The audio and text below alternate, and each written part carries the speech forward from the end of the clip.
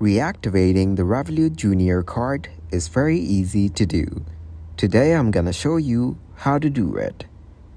To reactivate the Revolut Junior card, first of all, open up the Revolut Junior application. Then go to the Cards tab and tap on the Frozen Card option.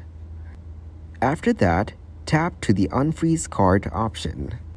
Or if you lost or replaced your card, open the Revolut Junior application. Then go to the Cards tab and tap on the lost or replaced card.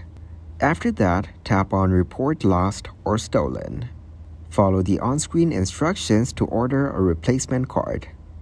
Once you receive your replacement card, you will need to activate it. To do this, make a chip and PIN transaction in a shop or an ATM.